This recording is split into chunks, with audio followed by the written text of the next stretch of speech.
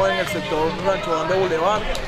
Este, la finalidad de este torneo es incentivar el deporte para los chamos, para que no se pierdan en malos pasos y bueno, este, para que los chamos tengan su mente metida siempre en el deporte y no piensen en nada malo. Vale, ¿cómo es el desarrollo de este evento con las medidas de bioseguridad en plena pandemia? Bueno, nosotros por lo menos aquí, este, los jugadores cada vez que entran, se le, echamos alcohol antibacterial, cuando salen ellos se ponen su tapabocas. ¿Cuál es, ¿Cuál es la receptividad de la comunidad? Muy buena porque había, esta cancha estaba, o sea, no había un buen ambiente en, los alrededores de la cancha.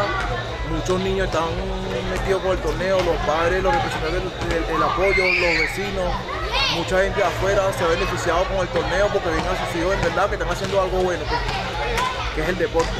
Dani, un llamado a la juventud venezolana para que incremente y se incentiven a hacer deporte en todas las comunidades.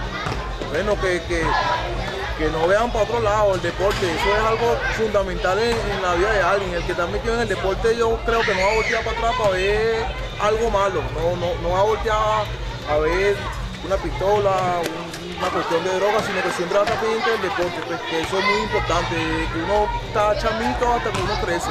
Formo parte de la mesa técnica en el torneo aquí en Rancho Grande Boulevard. Este, torneo está con fin en, o sea, de, reuniéndose los, los, muchachos para que vean, o sea, deporte, vean que no estén por ahí sin hacer nada. ¿Cuál es el llamado que tú le haces a la juventud venezolana para que se unan en cada espacio para que hagan deporte? Bueno, yo como joven le digo que, o sea, que le, o sea, le ponga pasión al deporte, siempre y cuando sea por el bien, pues. Que, busquen el deporte, cualquier tipo de deporte, fútbol, béisbol, que malo no es y, o sea, también un, un factor de diversión y de distracción para que tú tengas y no te. O sea, buscando cosas malas. Desde la parroquia La Pastora, específicamente en Rancho Grande Boulevard, Manicomio, el Centro Deportivo Pacific ha desarrollado el torneo Sub-21 en honor al Día de las Madres.